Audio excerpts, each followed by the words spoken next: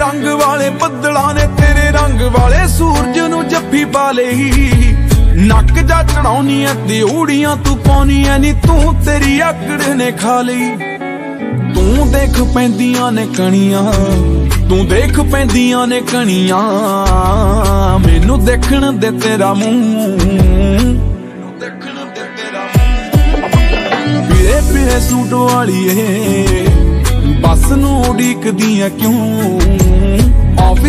ਚੱਲ ਮੇਰੇ ਨਾਲ। ਬੱਸ 'ਚ ਹੋ ਜਾਏਗੀ ਲੇਟ ਤੂੰ।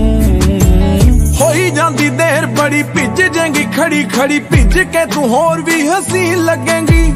ਸਾਰਿਆਂ ਨੇ ਅੱਖ ਤੇਰੇ ਉੱਤੇ ਅਟਕਾਣੀ, ਸੱਚ ਜਾਣੀ ਦੋ ਪੰਜਾਬਾਂ ਦੀ ਜ਼ਮੀਨ ਲੱਗੇਗੀ।